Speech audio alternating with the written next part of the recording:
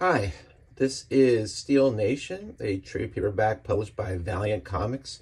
In 1994, this collects issues 1 through 4 of Magnus Robot Fighter. Magnus Robot Fighter was the uh, first title of Valiant's foray into superhero style comics.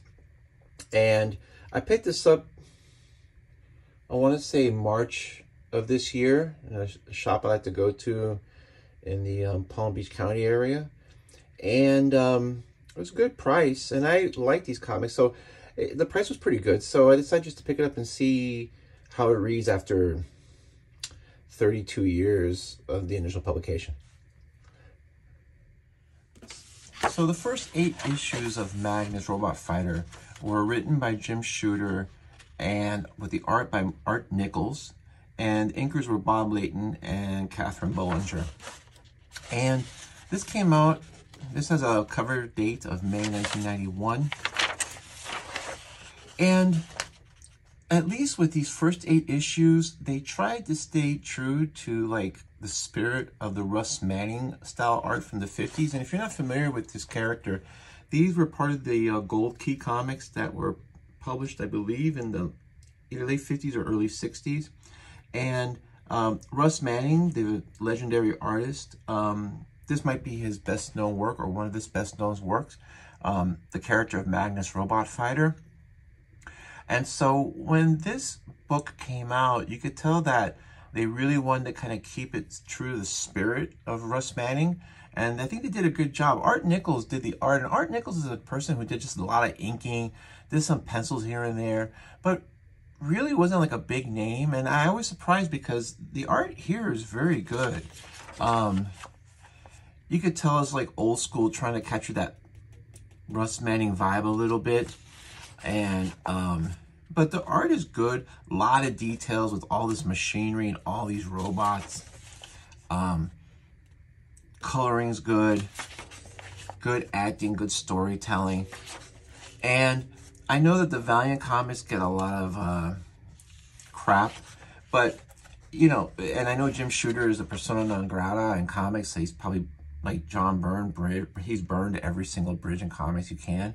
But Jim Shooter had a long career of a few decades um, of being a good comics writer. When he became editor-in-chief and started running things that um, things went south for him as far as his reputation just being really difficult to work for.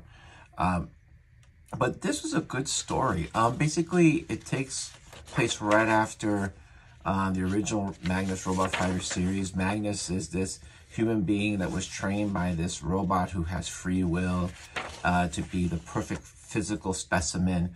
And his job is to go out and find robots that are achieving free will and that want to destroy humanity. And so, you know, th that's that's his deal. And that's how it starts off, where he's like just a good soldier and um, he's going to like, you know, destroy these robots. And the thing is, these robots that there's something that happens that causes a small portion of these robots to uh, attain free will or just be sentient. And it's funny because the humans are worried that these robots are just come over and like just take them over. And some of these robots are like, hey, listen, we, we should have peace. And some of these robots are like, no, no, no, no, no. We got to take care of these humans. We got to get rid of them because once they find out that we're around, they're going to want to dismantle us all.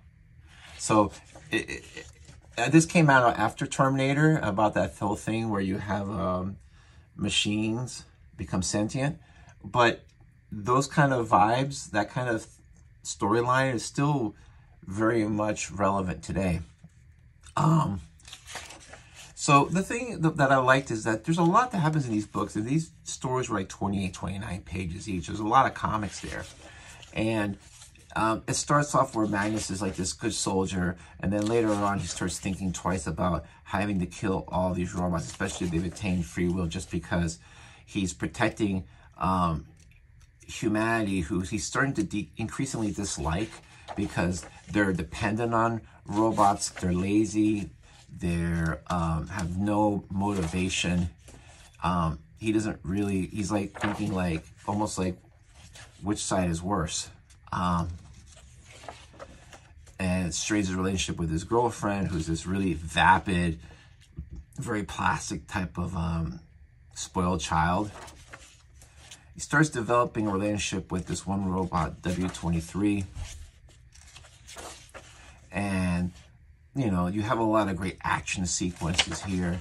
And as the story progresses, um, he starts really questioning, like, his role, like, of being humanity's protector. Like, you know, almost like, I don't want the robots to kill the humans, but at the same time, these humans aren't, like, the, the best people either, and I'm protecting them. So it's kind of interesting. Um, questions about, you know, what happens when a robot attains um, being sentient, um, trying to find their self, how some would be, you know, how humans, especially in this day and age, are sort of like really unprepared because they're coddled. This is takes takes place in the year 4001. Um, and so, uh, but the art here is really good. Like, I love this one silhouette sequence here of a battle. Like I said, there's a lot of detail um, here and here, but there's outdoor scenes that are good. So the art is, you know, it's good. I mean, this isn't flashy Jim Lee or uh, John Byrne, but it's good, solid art. Um, it looks like there's a lot of time given. Some of these covers are excellent. Um, I, it, I find that some artists just aren't really good at covers, but some of these covers, and they're like, they give that 50s Russ Manning vibe, you know, with like his uniforms are partially torn and he's like bent back and you got this menacing robot. And then you have the screen where you have like his girlfriend in peril. And um, by the end, Magnus changes as a person. And a lot of people do. So a lot happens in these stories. And so for 23 years later, um, there's there's a this is still I thought it was pretty good. I was just surprised that I liked it this much. Um, like I said, the themes of robots um, obtaining free will, uh, how humans um, would you know respond to that. Um, when these robots attain free will, like what's their idea of self?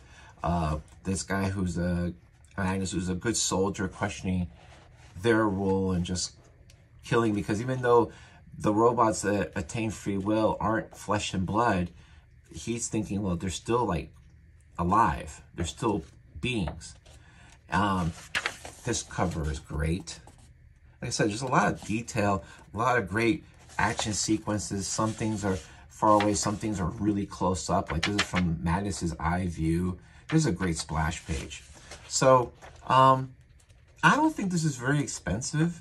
I don't know what the back, how the back issues are, but if uh, you come across this and you've ever read them, or if you come across this trade and it's, I don't think it's very expensive. Um, I paid $9.95 for this, which is the cover price. I, I don't think it's much more. Um, these are pretty good reads. If you hadn't read these um, in a long time, I would go ahead and check them out because I think they read pretty well considering it's over 30 years. Um, it kind of reminded me that Jim Shooter was a good comics writer. Um, and he had a large body of work. So that's really it. Um, like I said, good book. Um, not really too expensive, but a nice uh, trip down nostalgia lane. Anyway, thanks.